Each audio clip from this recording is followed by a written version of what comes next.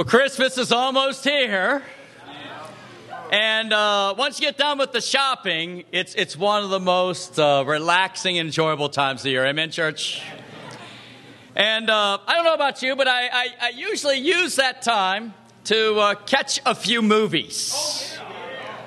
But it seems like they're always the same ones. There's, of course, Christmas Vacation with the Griswolds. And who can forget Chevy Chase just waiting to put the Christmas lights all over the house together and none of them come on? Or the squirrel flying out of the tree. And then there's uh, Jimmy Stewart in It's a Wonderful Life. You know, it's just so full of self pity that, of course, the angel says, Well, let's just see what life would look like if you never existed at all. And then, of course, there are many renditions of Charles Dickens' A Christmas Carol, where you had good old Scrooge, you know, visited by the three ghosts of Christmas past, Christmas present, and Christmas future. But perhaps the one unforgettable line from the whole movie comes at the very, very, very, very end by little tiny Tim himself when he simply says, God bless us, every one. And that's the title of our lesson this morning. Let's turn to Luke chapter 2. And here we find the heart of God. As Jesus is born, And we read beginning in verse 8. And there were shepherds living out in the fields nearby, keeping watch over their flocks at night. An angel of the Lord appeared to them, and the glory of the Lord shone around them, and they were terrified. But the angel said to them, Do not be afraid. I bring you good news of great joy that will be for all people. Today, in the town of David, a Savior has been born to you. He is Christ the Lord. This will be a sign to you. You will find a baby wrapped in cloths and lying in a manger. Suddenly, a great company of heavenly hosts appeared with the angel, praising God and saying, Glory to God in the highest, and on earth peace to men on whom his favor rests. Wow. Could you imagine being a shepherd out there in the fields that night? The angel comes, the glory of the Lord comes, and then thousands upon thousands of angels start singing, Glory to God in the highest, and on earth, peace to men on whom his favor rests. Of course, Hallmark Cards likes that part, and on earth, peace to men. Amen, guys? The problem is, that wasn't totally the promise of God. He said, and on earth, peace to men on whom his favor rests. You know, it's kind of ironic. Historians call this one of the most, quote, peaceful times in all of the history of mankind. As a matter of fact, they label this time the Pax Romana, the Roman peace. And yet, at that time as well as at this time, there may be a greater or lesser sense of peace externally. But internally, everybody yearns for that peace that only comes with the favor of God. Today we're going to look at three individuals that found God's favor, and prayerfully allow us to find it as well. Let's go to Luke chapter 7. Our first point God favors the sinful. So this should fire most of you guys up out there, okay?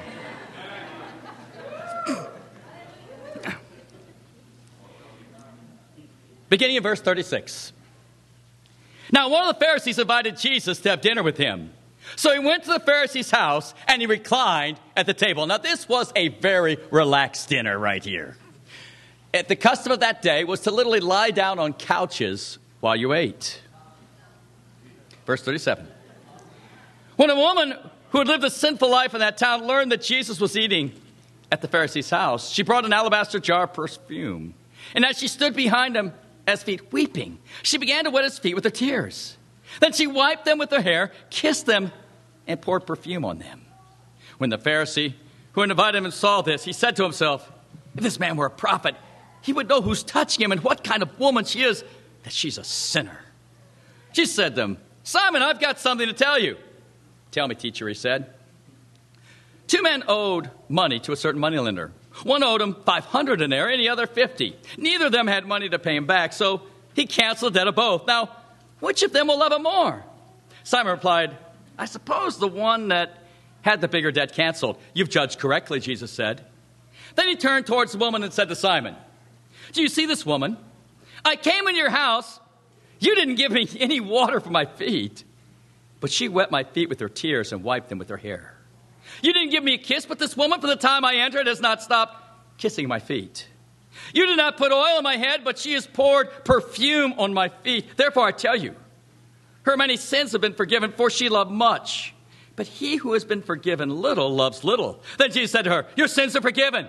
The other guests began to say amongst themselves, Who is this who even forgives sins? Jesus said to the woman, Your faith has saved you. Go in peace. This sinful woman found favor and peace with God. We find the occasion here of Jesus and several others eating at Simon's house. As a custom of that day, many meals were certainly by invitation, but others were allowed to come on in to the place that they were having the meal. And so it must have been a similar occasion to this. We find that Jesus, as well as several other guests, are reclining at their couches. And the Bible says that as they were eating this, this woman came on in and she stood right behind Jesus. And perhaps for the very first time in her life, she was in the presence of a pure man, and she was so overcome, she began to weep. Unbeknownst to her, at first, the tears were, were so profuse that they fell off of her cheeks, and then she noticed that it fell on Jesus' feet, and she quickly bent down and began to wipe Jesus' feet with her hair. And then she began kissing them and began to apply perfume to his feet. Of course, by this time, Simon and the rest of the people are looking at this woman that's making quite a display of Jesus and herself. And so he's thinking in his mind, if Jesus really knew who this woman was. Of course, you got to ask yourself the question why did Simon know who he, she was?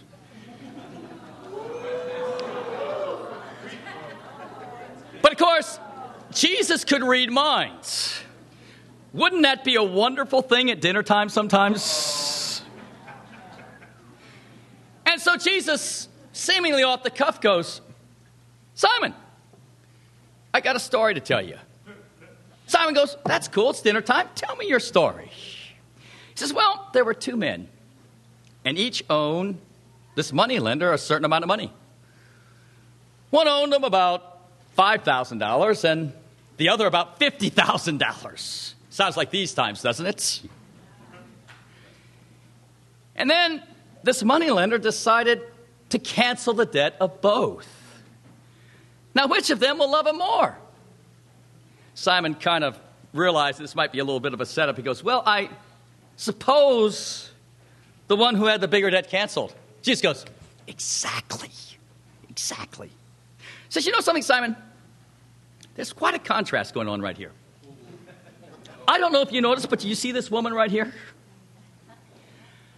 Ever since she came, it's been totally different between you and her. I came into your house and nobody washed my feet with water. Yet she's come on in, and the tears from her eyes have washed my feet, and then she's used her hair to wipe them. Says, You didn't even give me a cordial kiss when I came in, but she's not stopped kissing my feet. He says, You didn't even put oil on my head, but she's continued to pour perfume on my feet. I tell you something. Her sins, though many, have been forgiven, for she loved much. He says, But you know something? He who's been forgiven little loves little. And he simply turns to her and he says, Your sins are forgiven. Then all the crowd that probably heard the whole story goes, Who is this who forgives sins? And, and don't, doesn't he realize who that woman is? And Jesus says to the woman, Your faith has saved you. Go in peace. God favors the sinful. You know, right here, the lesson comes through so beautifully, I think, for all of us. Here is this woman that felt her sinfulness, her need to be in the very presence of Jesus, and she comes on in, and just in the presence of Jesus, she's totally broken. She starts crying. And she'd come to anoint him with the perfume already, but she was just so overwhelmed in his presence. And Jesus goes, Hey, there's a lesson to be learned right here. Though her sins are many, she has loved much. You know, bottom line, church, we need to understand this. How much we appreciate God's forgiveness is directly proportional to how much we love Him. It isn't the point that Simon, quote, was a lesser sinner than this sinful woman. The point is, is that all of us have a huge amount of sin that could never be forgiven unless Jesus died for our sins. Are you with me here, church? You know, last night we had an incredibly fun time at our uh, house church leaders' Christmas dinner party and devotional at the Velasco's house. Now, we didn't have couches to lay down on, but we still had a cranking time. Uh, we started off with the name game, and I appreciate Denise Bordieri doing all the background work and everything, and, and that was a lot of fun. We had to kind of guess who the person that we were, had the name on our back was. We had an awesome meal. All the sisters brought incredible dishes. We had some great singing by Lou Jack and, and Michael, and, and then we gave out the presents. But the most powerful time by far was the sharing that we had. We read the same passage here about the shepherds, and the shepherd's response to hearing about Jesus was simply praising and glorifying God. And I just said, okay, guys, let's just look back at 2008. What one thing can we simply praise and glorify God in our life? Well, one of the first to speak up was Nick Bordieri.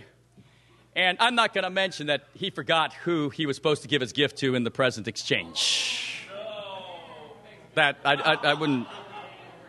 I wouldn't want to bring that out into the open and everything. But Nick just opened on up, and you know how big hearted Nick is. You know, I just want to, I just, I'm so thankful for this group. It's such an awesome group. We've been through so much, and yet we've all come together. Michael Kirshner spoke on up. He says, I just want to thank God for all the, the church planters that have gone out Ron and Tracy, and Kyle and Joan, and DJ and Casey. These people have so inspired me. Then Michelle spoke on up, Michelle Williamson. She said, oh, I'm just so thankful for my husband, Michael. Whoa, amen. And you know, I felt that she really meant it too. but there were two sharings that, that, that stuck out perhaps more to me than all the other ones. The first one was by the physically youngest and spiritually youngest person in the entire group. That was Ashley Woody. I mean, it's amazing. She's, she's got up, she's, and she's very moved when she stood up. She says, I am just so thankful to God that this past February I was baptized and I was saved. She says, You know, kind of in referencing her life, by all rights, I shouldn't even be here. That's how messed up her life had become. And then she went on, she just shared a little bit.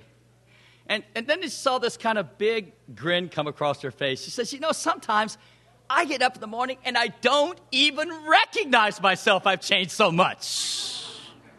That's incredible. Just 10 months in the Lord.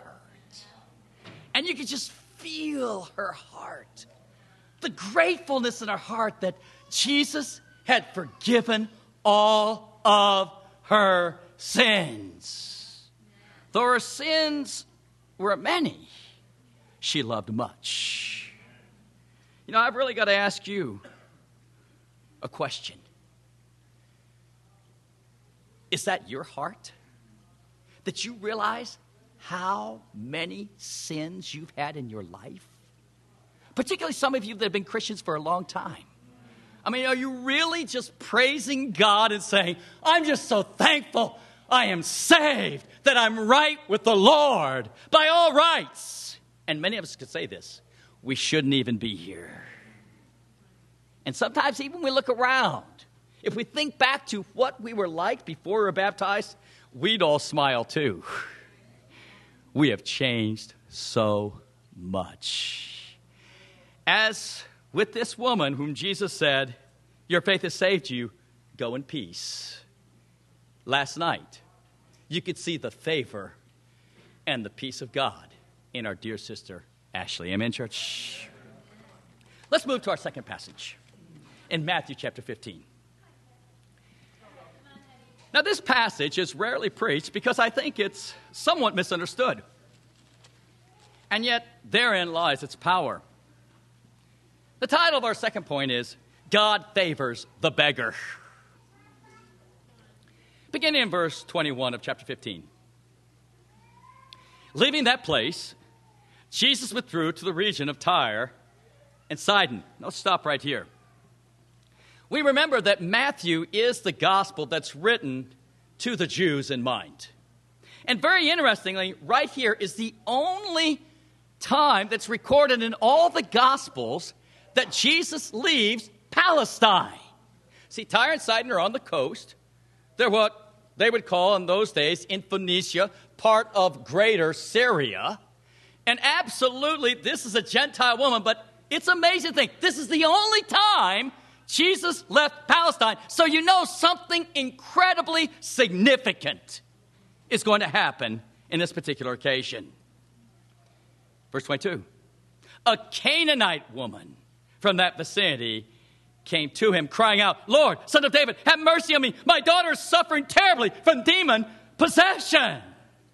Well, you know, there's few words that are strong in the Jew's mind as a Canaanite. I mean, after all, God told Joshua and all the Jews to wipe out the Canaanites from the promised land so they could have the promised land. And so Matthew's reminding us hey, this is a woman that should have been wiped out, but here she is, a Canaanite woman who knew some of the scriptures because she addressed Jesus as the son of David. If you go back to Matthew chapter 4, you will find that the ministry of Jesus had had such an impact, it went well beyond the borders of Israel. As a matter of fact, so many people in Syria and Phoenicia have been affected by the preaching of Jesus Christ. And so we read on. Verse 23. Jesus didn't answer a word. So his disciples came to him, urged him, Send her away, for she keeps crying out after us. He answered, I was sent only to the lost sheep of Israel. The woman came and knelt before him. Lord, help me, she said. He replied, It's not right to take the children's bread and toss it to the dogs. Yes, Lord, she said, but even the dogs eat the crumbs that fall from the master's table. Then Jesus answered, Woman, you have great faith. Your request is granted. And her daughter was healed from that very hour. It's an interesting passage, you have to admit. Amen, guys? So we see the woman comes on up very respectfully and says, Lord, son of David, have mercy on me. My daughter is suffering terribly from demon possession. I mean, the demons were powerful in that day, and the demons are powerful in this day. Are you with me here, church? But interestingly, in the midst of this plea, Jesus didn't say anything. Now, that's rare for Jesus, but he's setting things up, isn't he? He's letting things play out. So his disciples come to him and says, Well, she keeps crying out after, she keeps begging. And so Jesus says, I was sent only to the lost sheep of Israel, and of course, he is the Messiah of Israel. But now he's going to make a point. The woman came and knelt before him. Lord, help me. I mean, this woman could not be stopped. Now she's down on her knees. Lord, please help me. And then Jesus tests her. He says, It's not right to take the children's bread, referring to the Jews, and toss it to their dogs, because that would be how a Jew would address a Gentile. They're a dog. Right, Ken? Amen. Ken's our resident Jew right here, turned Christian.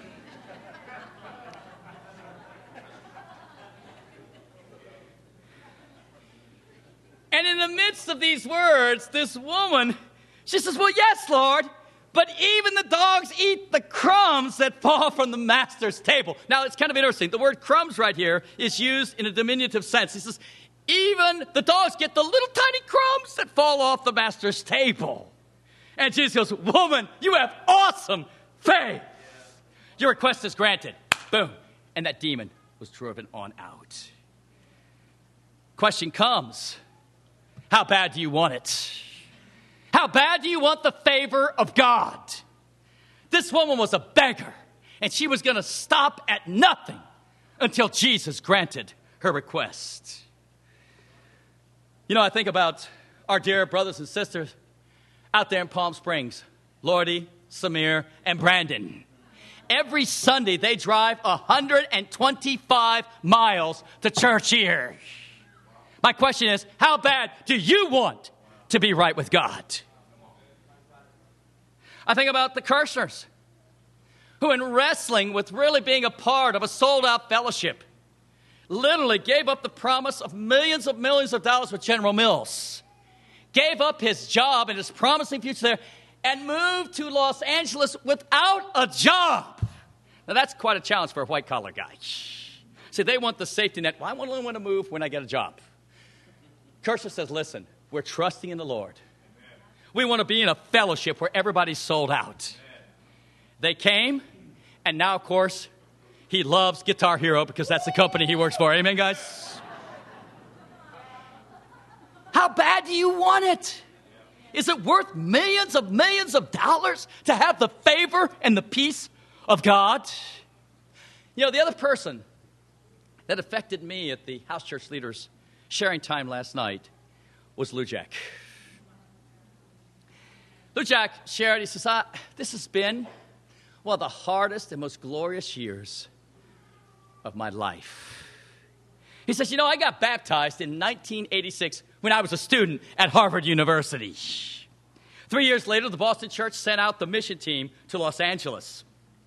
He said, I was so fired up. He says, but from day one out of the waters of baptism, I just had one request of God. Just one request that my entire physical family would become baptized disciples of Jesus Christ. He said, I didn't have anything else on my heart. That was my passion. And sure enough, shortly after he came, his two sisters, his brother, and his mom got baptized. But his dad didn't. Year after year, through hard times and good times, Lou Jack persevered. Finally, 20 years later, in 2006, Big Lou was baptized in the Lord. Why did Lou Jack share that this year was so glorious? Because his dad died earlier this year. But he died as a faithful disciple of Jesus Christ. You know, even as disciples, we get so faked out by the things of this world. There's only one thing that really matters is whether or not a man or a woman is right with God when they die. There is heaven, but there is hell, and there is no purgatory. And the only ones that have the favor of God are those that are baptized disciples of Jesus Christ. You know, with Luis, he found the favor of God, even in his dad dying. You know, it's, we're at that stage in life right now where we hear about a dad, mom, grandpa, grandma passing away, and it brings such turmoil into our hearts. And, and it's because we know we've lost them in this life. But the beautiful thing that Lou Jack could share he says, I have total peace that my dad is with God and that someday we will be reunited. My question is how bad do you want it? Many of you have been coming to church for several weeks and you still haven't started studying the Bible yet. You got to beg the person who brought you, please, I want to study the Bible. I want to be right with God. Some of you have been studying the Bible for several weeks and months and still haven't been baptized or restored yet.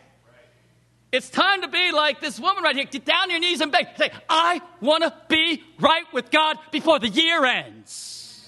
How bad do you want it? Many of us are here and we, we have that same passion that Lou Jack has. We want our whole physical family to be baptized, to be saved, and to be with us up in heaven. Amen, church? But we seem to flag in our faith after one year, or two years, or three years, not understanding that it's all about God's timing right here. 20 years, Lou Jack waited for that day. And then the Lord took him just two years later. How about it? How bad do you want it?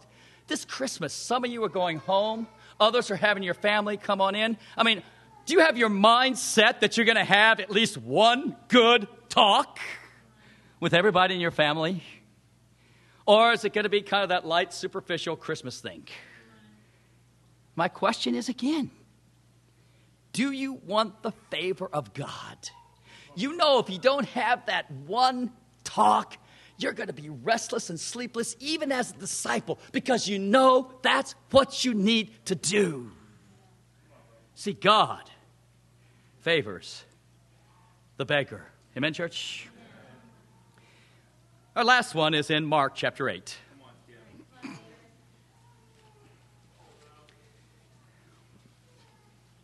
In verse 22.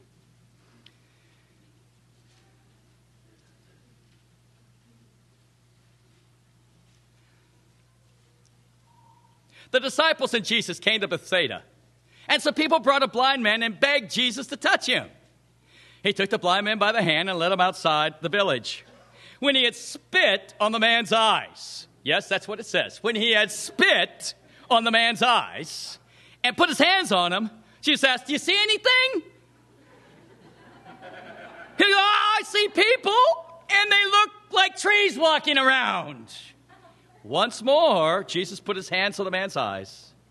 Then his eyes were opened, his sight was restored, and he saw everything clearly. God favors the blind. You know, right here, Jesus and the disciples come to Bethsaida. And evidently, this, this blind man was somewhat popular amongst the people. He must have been a special person because many people brought him to Jesus. And the people begged Jesus to touch him. Now, of course, the whole issue right here is if Jesus touched him, he would have become unclean. But the fact that he would then heal him and make him be able to see again mean that Jesus would become not unclean, but clean again. So that, that's the cool thing about being the Son of God, you know, amen. but it's kind of interesting. Jesus literally grabs the blind man's hand and he walks him out of the city. Well, why do you think he did that? He wanted everybody to see that he was touching a blind man. He was parading him in front of everybody. Once he gets out of the city, he says, Stand there a second.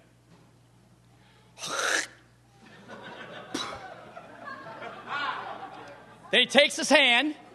He says, You see anything right there? He says, No, it's a little blurry a little bit. He says, People, they, they, they, they seem like trees walking. Most likely, this guy at one time had been able to see, but he'd lost his sight. And Jesus says, Okay, just a moment. He touches him a second time. And the Bible says his eyes were opened, his sight restored, and he saw everything clearly. What a powerful thing is the second touch of Jesus. You know, tonight down in San Diego, a dear sister to many in the congregation, Christina Craig, is going to be restored. There was a day many years ago that she was baptized, she became a disciple, she was saved, and she was fired up for the Lord. But sadly, over time, she lost her faith and she fell away. The great thing about God is if you're willing to come back, Jesus can give you a second touch of grace and be restored. Amen. Merry Christmas. Merry Christmas. Is your hair real? It is. It's sweet. Thank you. Merry Christmas to you, son. Amen. I appreciate that. Yes. Amen. I love you. Love you, man.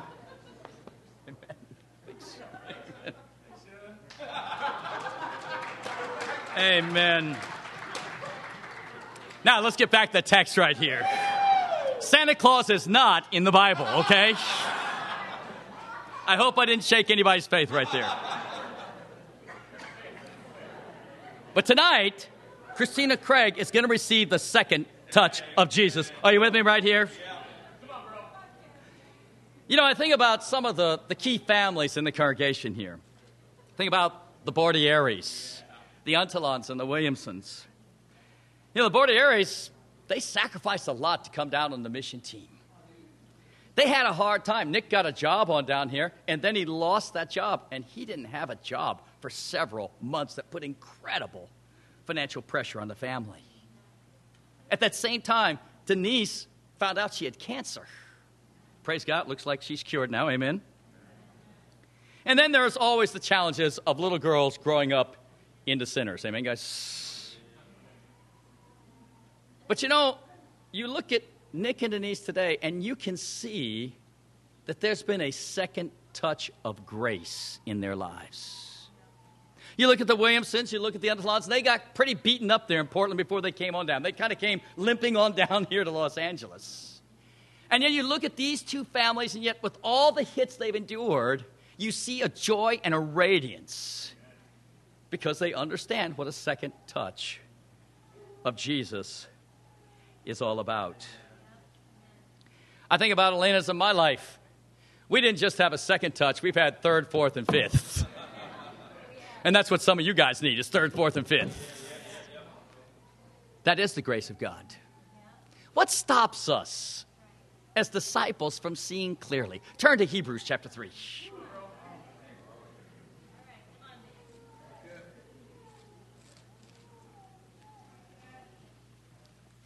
Here's a passage we love to study even with young disciples with, in Hebrews 3, verse 12. It's ironic how it starts out. See to it, brothers, that none of you has a sinful, unbelieving heart that turns away from living God, but encourage one another daily as long as it's called today, so that none of you may be hardened by sin's deceitfulness. We've come to share in Christ if we hold firmly to the end the confidence that we had at first. You know, the Bible says right here it's the responsibility of every brother and every sister to make sure that each of us are encouraged in our faith every day. Amen, guys? Because every day we get attacked by Satan. And if we give in to that sin, we can be deceived about where we really stand in the Lord. You know, one of the great challenges, I think, for people getting that second touch of Jesus is really seeing things clearly. You know, one of the great challenges of aging is that you collect a little baggage on the way. And we're not talking about body baggage right here. We're talking about emotional and spiritual baggage.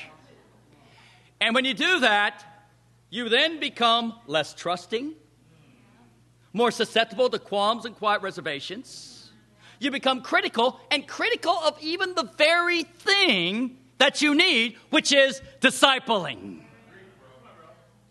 Without discipling, without daily encouragement from one another, we're not going to make it. You may say, Oh, yeah, I will. No, that's the deceitfulness of sin taking over right there. Many of us know of people who were disciples that had great discipling, and now that they drifted away from discipling, their marriage is ruined. Many of them in a divorce. I mean, their, their lives are a shamble because they failed to see this verse that we all need daily encouragement from each other. Or if we don't have daily encouragement, then our hearts will get hardened.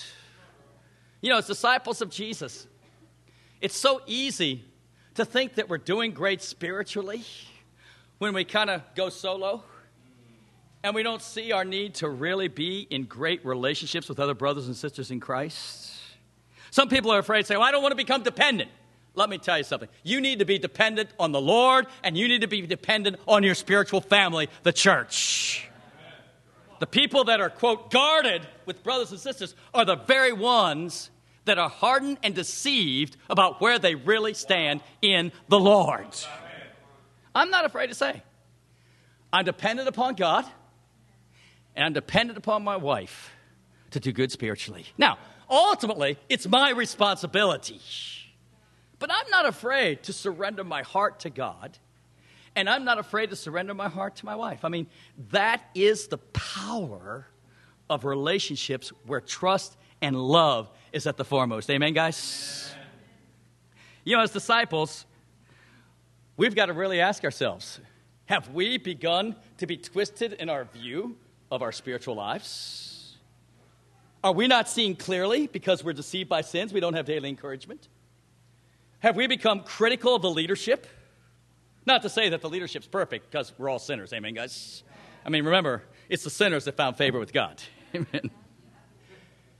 Are we people that are just waiting for the church to become perfect and then we're really going to give our hearts? Or are we the kind of disciples that says, listen, man, this church needs a lot of help. It's time for me to roll up my sleeves and get busy working for the Lord and helping to find solutions for the church. Are you with me right here? You know, this is a great time of reflection. We do have a little bit more time, most of us, this coming week. And instead of vegging out and watching every movie on TV there is, or watching all the bowl games, or whatever your predisposition of the flesh is,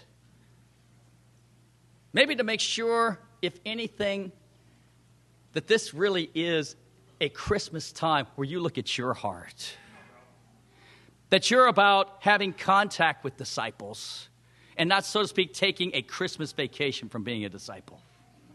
Yeah, there's a change of pace right here, and Jesus had that change of pace as he went into Sidon, Tyre and Sidon right there. On the other hand, he never stopped being with the disciples. And as disciples of Christ, if we're going to another place, hey, we need to make sure we're in contact and staying encouraged if we're here, yeah, it's time to draw in our physical families, but we need to make sure that some of the weaker brothers and sisters are being drawn into our families and have places to go during this time. This is some of the most lonely time for people, yes, even disciples, if they're not pulled into the true spiritual family. Are you with me here, church? On the other hand, it's a great time to get out your Bible, get some extra time to think about what God has done in your life in 2008. Do you have the heart of an Ashley says, I am just so thankful. I'm saved. I, I, don't even recognize who I am. By all rights, I shouldn't even be. Is that your heart? I don't care how long you've been a disciple. That's where your heart needs to be. If it's not, then to find the favor of God, you need the second touch of Jesus. Let's close on out with Luke 10.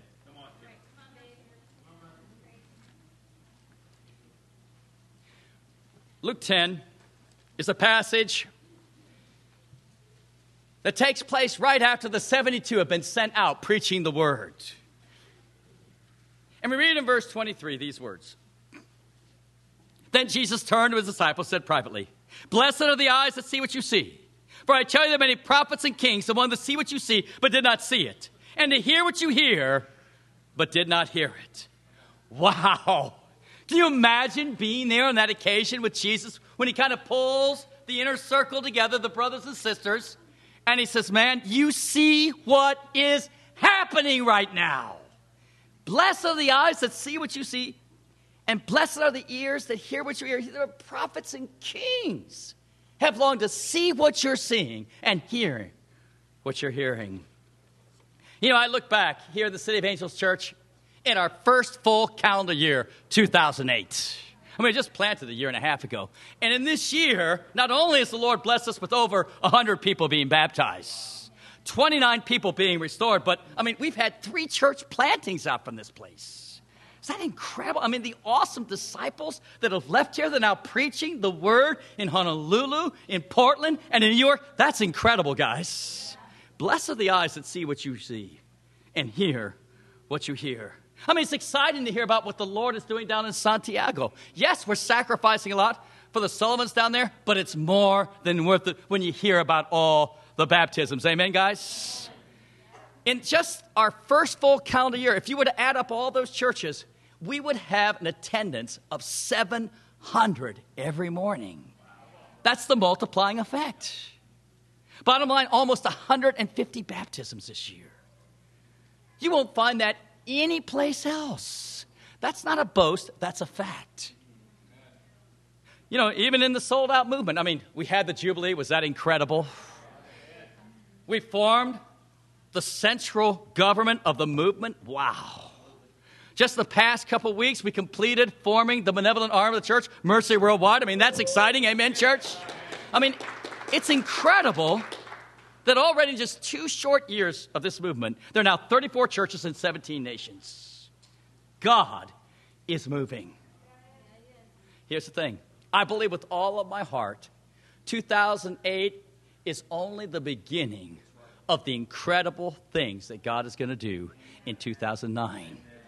But in order to take part in that, you got to be ready. You got to seek out the favor of God. Thank you, and God bless.